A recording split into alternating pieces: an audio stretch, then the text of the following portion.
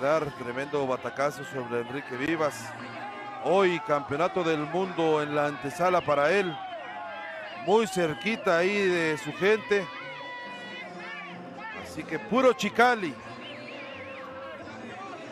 Veamos si puede dar el gran batacazo. Debería poder ser una de las grandes sorpresas de este 2022.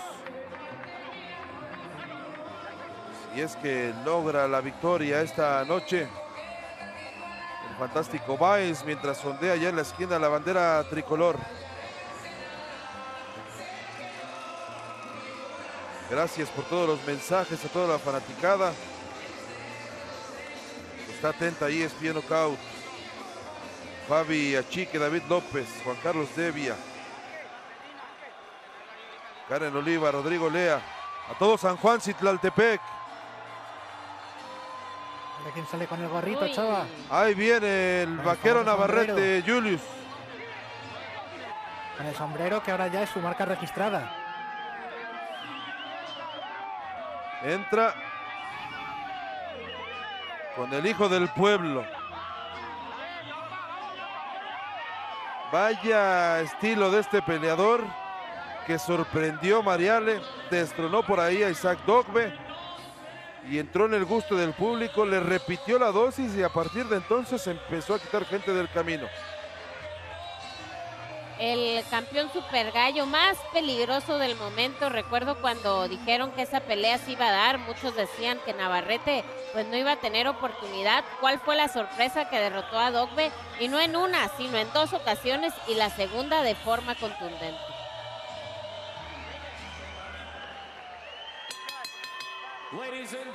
Vamos a la presentación. Se prendió el cerro, mi gente. This is boxing. This is Top Rank.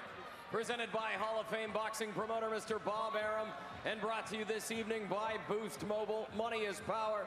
And the new feature film Samaritan starring Sylvester Stallone coming to Prime Video August 26th. Our judges at ringside, Dr. Lou Moret, Pat Russell, and Zachary Young. And the man in charge at the sound of the bell, Mr. Jack Reese. And now to everyone here inside Pachanga Arena, San Diego, California. And to everyone watching on ESPN. This is boxing. This is Top Rank. And oh,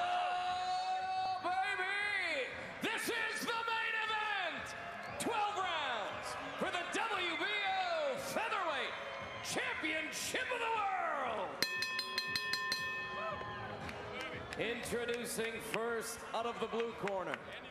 He weighed in at 125.8 pounds, wearing red trunks with black trim.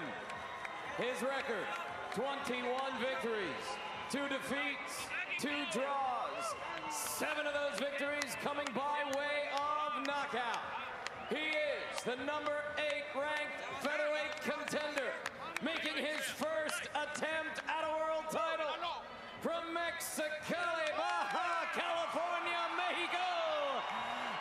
Eduardo El Fantástico Baez.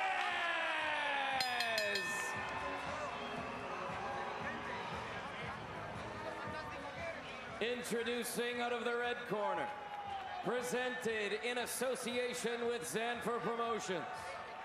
He weighed in at 125.8 pounds, wearing blue and white trunks.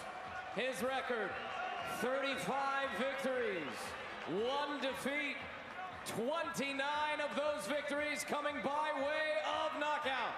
He is the former junior featherweight world champion, making his 10th world title appearance.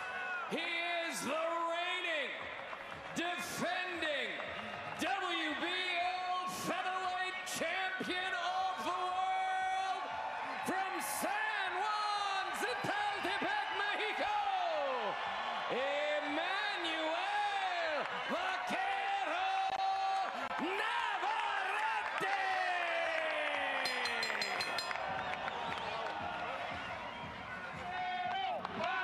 sea, bien pudieran decir del Estado de México, de México, pero no, el vaquero dice, por favor, presénteme de San Juan, Citlaltepec. Así que un abrazo a todo San Juan, Citlaltepec, la casa del campeón del mundo, hoy en una nueva cita en contra de Eduardo el Gemelo Báez. Batalla principal. Título pluma de la Organización Mundial de Boxeo. Le saludamos Mariale Espinosa, Julius Julianis, su servidor Chava Rodríguez.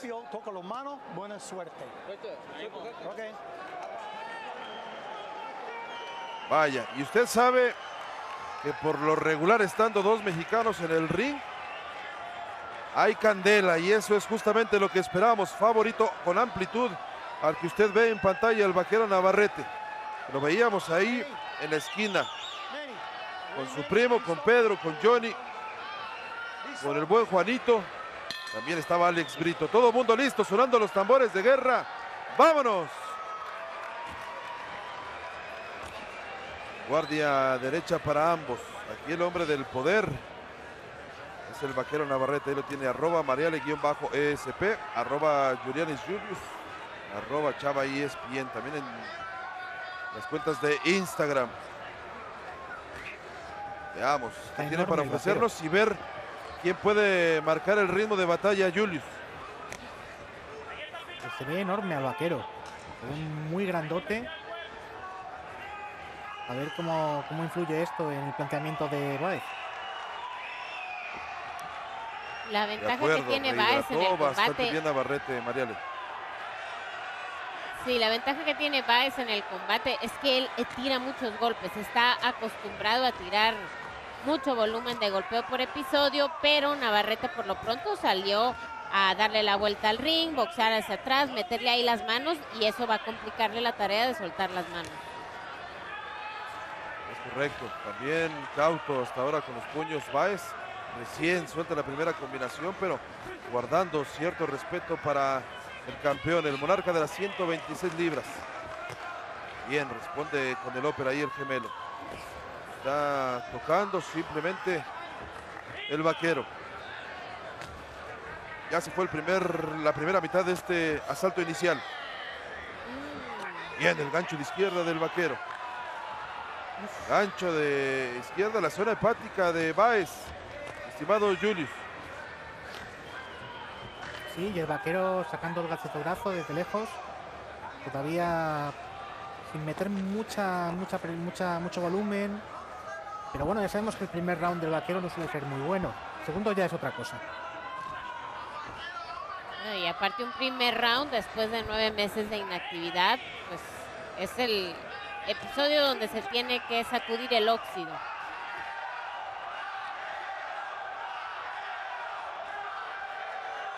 Y empieza la fanaticada a retratar su apoyo para el vaquero Navarrete que recibió ganchito de mano izquierda después de fallar un upper con esa mano. Atacando las zonas blandas. Después del peleón que acaban de ver, pues claro, ahora abuchean porque quieren acción.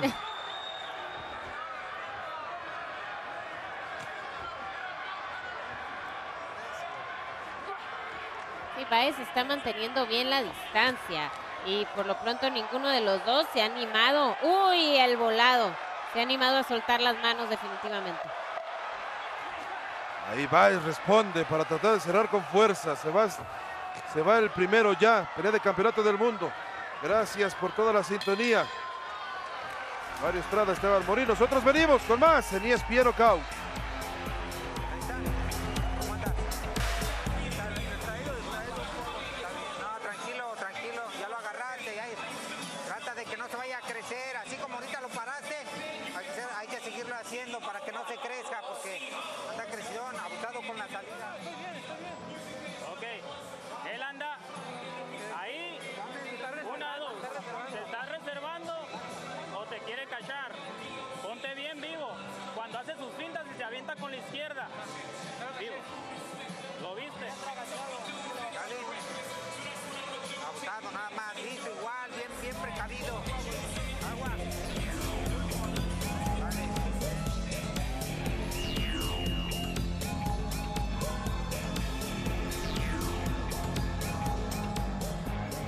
Regresamos con ustedes, el vaquero Navarrete listo para este segundo capítulo en contra del que usted ve en pantalla, Eduardo Baez. Pelea de campeonato del mundo. Julius Julianis, ¿cómo estuvo tu tarjeta en el primero? Pues un round relativamente parejo. Yo solo di a Navarrete, conectó más golpes nítidos, creo. Pero bueno, eh, Baez estuvo muy competitivo. 10 a 9 por ahora para Navarrete. Es correcto, Mariale, buen inicio de combate y ahora Baez faltándole el respeto al campeón. Sí, soltando las manos, el volumen, decíamos que es una de sus fortalezas. No tiene la mano pesada, el vaquero aguanta, sin embargo, haciendo esto, pues va creciendo, impone el respeto y eso le decían al vaquero en la esquina. No dejes que se crezca. Anda muy crecidito, le decía Pedro, ahí en la esquina del gemelo Báez, que precisamente aprovecha cada instante para soltar los puños. Ya en algún momento Navarrete respondió con fiereza, como ahora, pero no deja el ímpetu hacia atrás. Cuidado ahí con el empujón. Regresaba con la mano izquierda en dos ocasiones el vaquero Navarrete.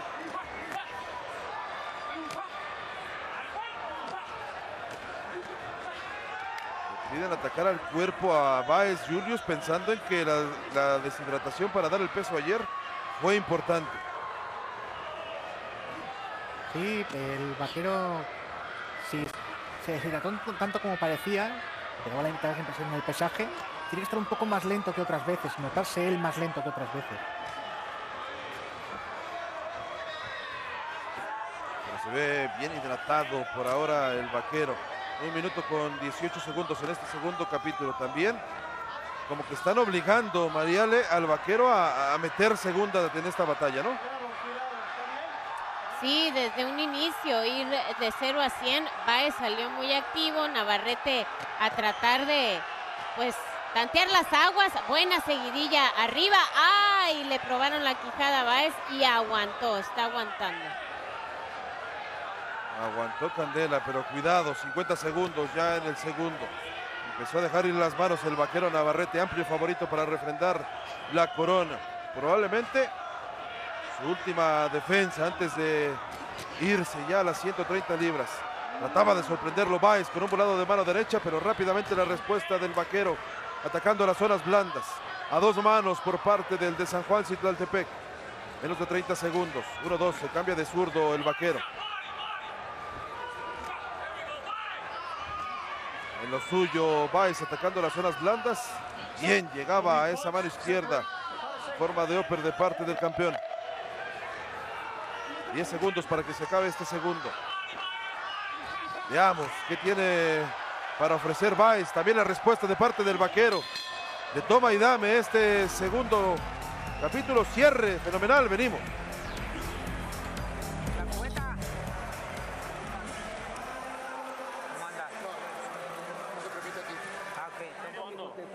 Quedando, te estás quedando, quiero que te quedes. No quiero que te estés Ey, quedando. ¿Por qué ¿Oíste? te estás quedando? No te sueñes, ¿Eh? no te sueñes, agárralo por boca. Ey, ¿por qué te estás quedando? No te tienes que quedar. Él es lo que está esperando, mira. Te está reservando y Hay que empezar a pegar picando abajo. Lo, de- lo, lo, lo trabajas con la izquierda arriba y lo rematas abajo. ¿Sale?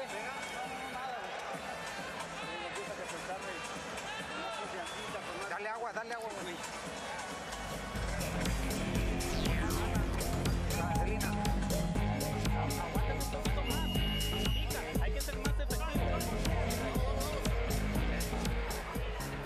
De regreso con ustedes.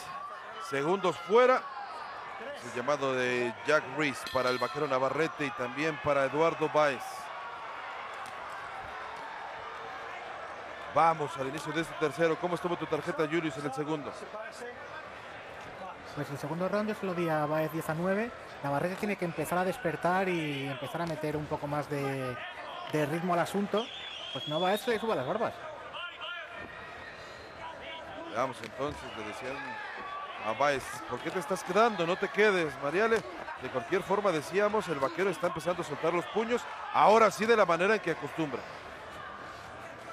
Sí, hacia el final del segundo round ya pudimos ver ese vaquero que se mueve, que saca golpes de ángulos raros, que no sabe si va a llegar un volado o un upper, pero Baez pues ha estado buscando la pelea, yendo hacia enfrente y por lo pronto ha tenido más velocidad. Sin embargo, sí, Navarrete despertando.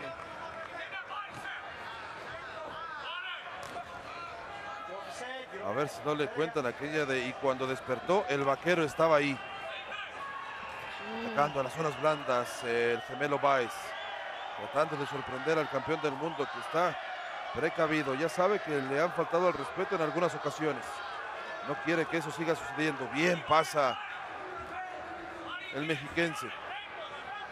Del otro lado el de Mexicali no deja de ir hacia atrás. Se vuelve a cambiar de guardia el vaquero a la zurda. Recibe golpe en la nuca el vaquero. Está como muy calmado el vaquero, como eh, reservando energías, parece. Y lo que me sorprende es que o sea, está, el vaquero. está detrás del jab, tira el jab, se mueve un poquito, eh, siendo un boxeador que pues que no es el que conocemos, ¿no? Sino aquella, el- aquel tractor que va hacia enfrente, que tira por todos lados, una mano derecha que trata de quitarse Navarrete con un rolling, pero que sí le llega, sí le roza la cara. Sí, y, y por más que digan que no tiene poder Baez, bueno, pues la acumulación siempre causa problemas y por ahí puede llevar a un corte y un corte llevar a la desesperación y demás. Así que veamos cómo reacciona finalmente Navarrete que finta con un volado de mano derecha y mete el upper. Lo tienen contra las cuerdas al campeón del mundo. Está exigiendo de alguna u otra manera el de Mexicali. Llévalo, llévalo, le dicen. No se entrega Baez. Sabe del poder del campeón del mundo.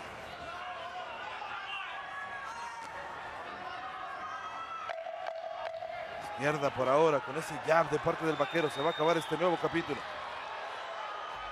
Baez yendo hacia el frente. Responde el vaquero con ese upper de mano izquierda para cerrar. Suena la campana y nosotros venimos con más en ESPN Knockout. Regresamos con ustedes, pelea de campeonato del mundo. Por ahí acusaba dolor el vaquero Navarrete en la mano izquierda. Veamos cómo reacciona. Quizá por eso se colocó de zurdo Marial Espinosa. Le pedían en la esquina rematar con la izquierda y, y dijo, no, no puedo, es que me duele. Incluso, pues bueno, le cambiaron la estrategia, le dijeron que con la mano derecha tratara de meter la mano en los dos niveles, arriba y abajo. Esto puede ser un condicionante tremendo para la pelea, chava. Bienvenidos al escenario de lo inesperado en ESPN Knockout, es lo que les decíamos. Julio Jurielis, ¿cómo estuvo tu tarjeta en el tercero? Eh, un round muy parejo el tercero, ¿eh? Yo solo di a Navarrete 10 a 9 porque tuvo mejores golpes, en, o sea, golpes de mejor calidad que los de Baez, pero muy pareja, ¿eh? Va 29-28 en mi tarjeta ganando Navarrete. Pero a ver ahora que tiene que boxear en retroceso todo el tiempo. Es correcto, a ver cómo reacciona el vaquero después de este imponderable en el ensogado. Atacando las zonas blandas Baez. Veamos. No puede tirar como quisiera esa mano izquierda, según dijo el vaquero Navarrete. Un saludo muy especial hasta territorio jalisciense. A todos los amigos de JG Music. Buen amigo Jaime González. Para Cristi Nodal, claro que sí. Toda la gente de Cristian Nodal, todo su equipo de trabajo. Abrazo para todos ellos. Veamos, faltándole al respeto Baez. entonces Baez. Sí, Navarrete tuvo un- una buena seguidilla, pero Baez dijo, no, hasta aquí llega esto, mete presión él también. Eh, Baez no le tiene miedo al poder de Navarrete, ¿eh? porque sabe que está eligiendo la estrategia correcta, que es meter golpes con potencia, 4 o 5 y luego moverse. Último minuto de este cuarto asalto. No se le nota cómodo al campeón del mundo y Baez está en lo suyo, tratando de competir. También un abrazo hasta la capital mexicana al buen Alvarito Barrera. También para Agus, tremendo los intercambios. Está forzando la pelea Baez, pero también se deja ir finalmente el vaquero Navarrete. Haciéndose respetar el campeón del mundo, haciendo un esfuerzo superlativo. 30 segundos faltando en este cuarto asalto.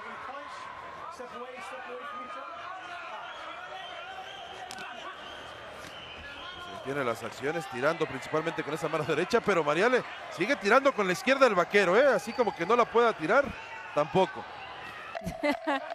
Sí, quizás él no la siente tan sólida como generalmente lo tira, pero sigue utilizando esa mano. Quiero saber qué es lo que le dicen en la esquina, qué es lo que dice él, cómo se sintió. Nos vamos al corte y se lo decimos al regresar.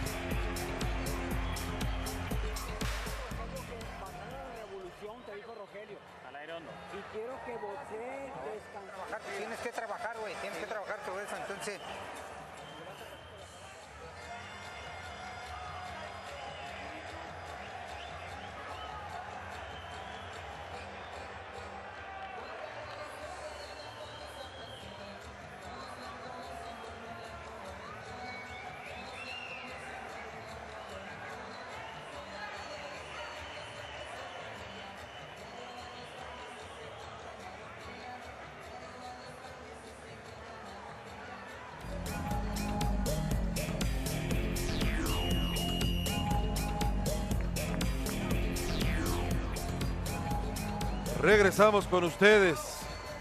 Abrazo también para el buen pilón Lara. Queríamos escuchar las indicaciones en la esquina Mariale, pero le subieron ahí a la chona y nos quedamos con ganas. Bueno, ya se sabrá, dependiendo de la evolución que tenga en este quinto round Navarrete, porque la mano izquierda la siguió tirando a pesar del dolor que acusaba sentir. Es correcto. ¿Cómo estuvo tu tarjeta, Yuri Julianis? Eh, en el, cuarto round, 10 puntos para Navarrete, 9 para Baez. Dio un paso adelante el campeón. Y aunque fue un round competitivo, yo creo que se lo llevó Navarrete. Mi tarjeta va ganando 39-37 el campeón. Pero puede haber muchas tarjetas en las que vaya empatado el combate. Veamos qué tiene para responder entonces el gemelo Baez, que se va a entregar en cuerpo y alma. Por cierto, los hermanos Baez durante mucho tiempo ayudaron a robar el chocolatito González. Ahora llegaba bien la derecha de parte de Baez y también la izquierda. Responde con fiereza el vaquero. Ya lo cortaste, le dicen. Parece que tiene sangre entonces el campeón del mundo. Le está haciendo fallar mucho Baez al vaquero. ¡Uy! ¡Qué volada! Tremendo ese de mano izquierda.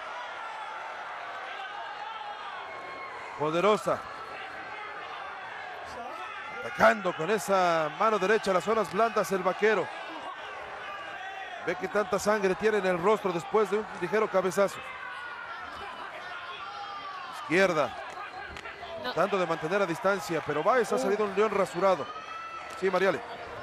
No se le ve, no se le ve cómodo al vaquero Navarrete. Eh, primero pensábamos que era la inactividad, ahora con esta nueva condición de la mano izquierda lastimada. Y Baez, por el contrario, sigue haciendo eso de tirar cinco manos rápidas y luego salir de la distancia y está sorprendiendo a Navarrete. apostando ahora por la contundencia el vaquero con esos golpes que llevan mucha solidez y malas intenciones. 50 segundos, también un abrazo para el orgullo de Moyagua, Zacatecas, el buen Chepo Reynoso.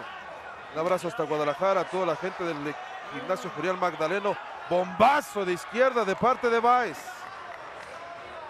Esto no estaba en el ha script, metido ya en varias ocasiones.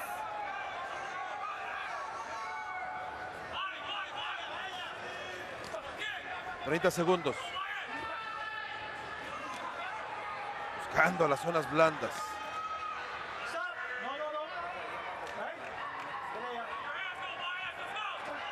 Encuentra el ritmo. También hay que pensar que tiene nueve meses el vaquero. Ahora sí metía bien el cruzado de mano derecha. Lastimando la humanidad de Baez.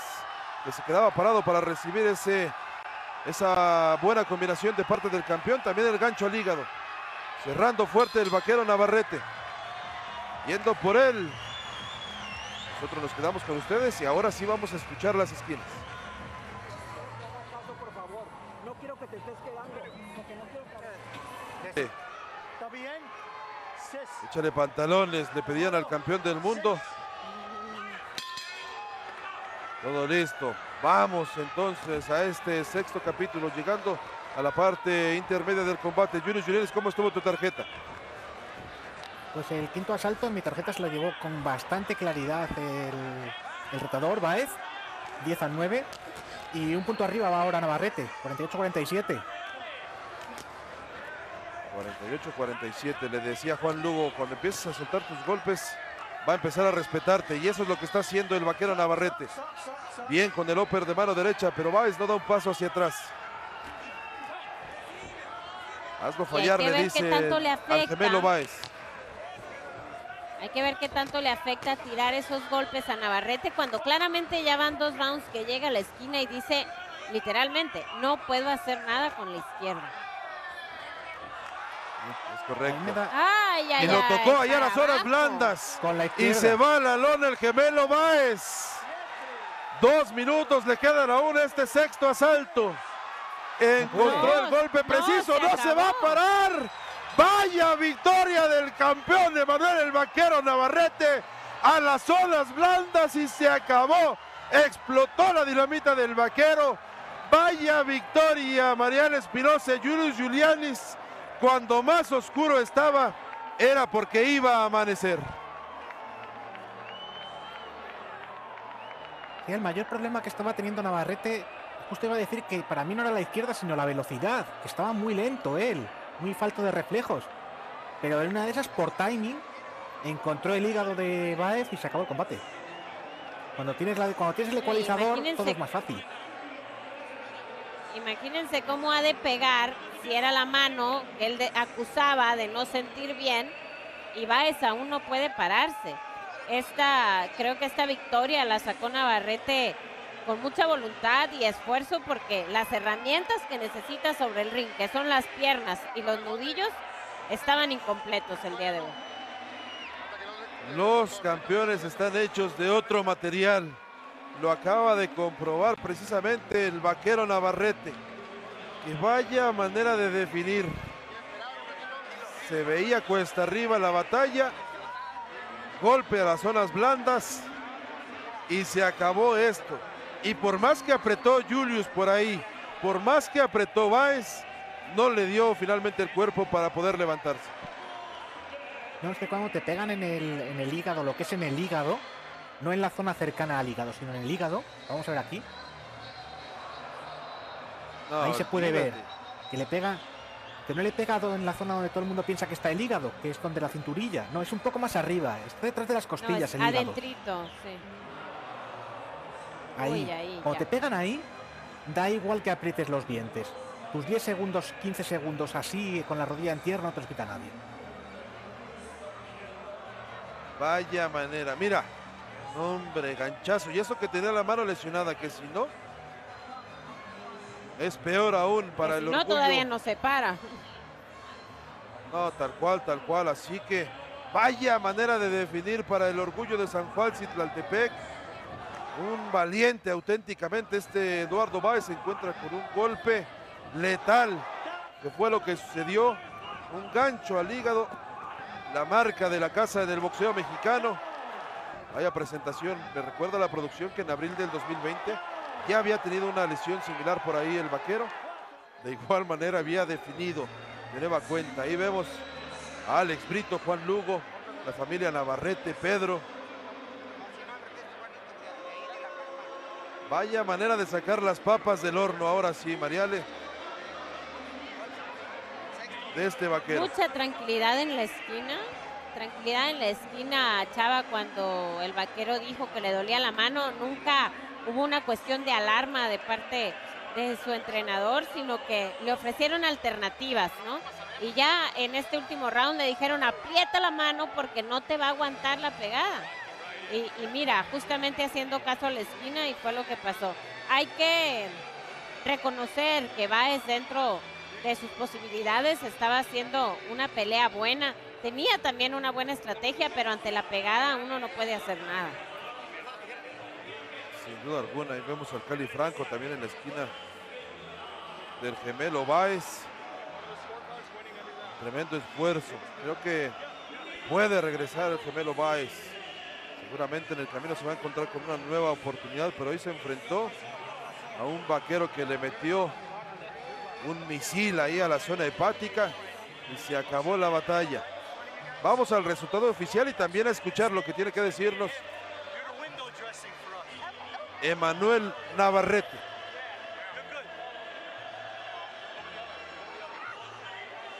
Dice Gris, ok, estamos todos posicionados, todos bonitos para la foto. Todo indica que sí. El vaquero todavía dice, no me aprietes mucho la mano izquierda que no la traigo en condiciones.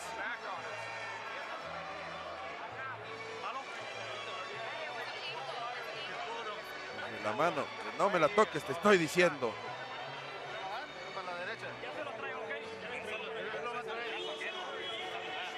Y me gustaría ver cómo iban las tarjetas manera. hasta ese momento. ¿Cómo, iba- cómo la llevabas tú, Julius? En la, la tarjeta dices, eh, si este round lo ganaba Navarrete, iría dos- iba a ir dos puntos arriba. Pero no dio tiempo a más. Lo está haciendo muy bien Baez.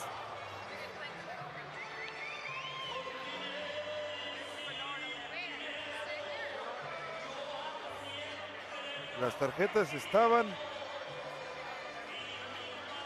50-45 para Baez en una, 48-47 para Baez en otra y otra 49-46 para el vaquero. Así que iba abajo en dos. Las tarjetas oficiales allá en San Diego. Así que decía yo, vaya manera de sacar las papas del horno de este vaquero Navarrete. Ya me imagino el festejo esta noche allá en San Juan Citlaltepec. Tengan cuidado, muchachos. ¿Y a 130 o, o otra más 126? Creo que Creo que vaquero. va a 130. Ladies and gentlemen, here inside Pachanga Arena, San Diego, this bout comes to a conclusion at one minute, five seconds of round number six for your winner by knockout and still WBO featherweight champion of the world,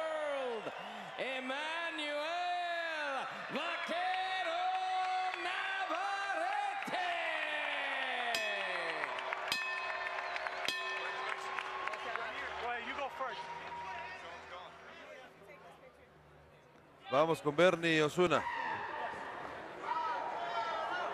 También Nos sonorense. traducimos Bernie. porque pues, se va a entender bien lo que diga Navarrete.